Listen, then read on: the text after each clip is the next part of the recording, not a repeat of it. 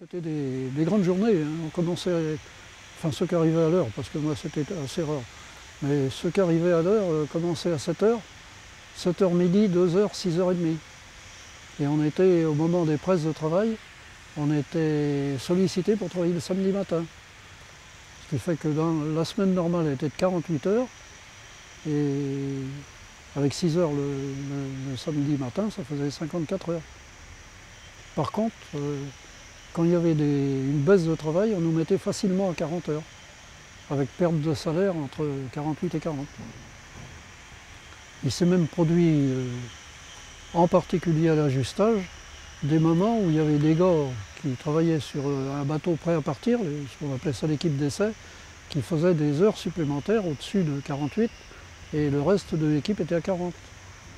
Et dans l'année 1900, bah, j'ai ça dans la voiture, mais dans, plusieurs années, il y a eu des, débauches de personnel. Il y a eu aussi beaucoup de prêts de personnel.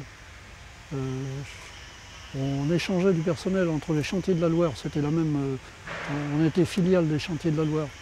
Alors, en une bosse de travail là-bas ou une baisse ici, on envoyait du personnel à la Loire ou à la Bretagne. Il y en a qui sont allés au Batignolles.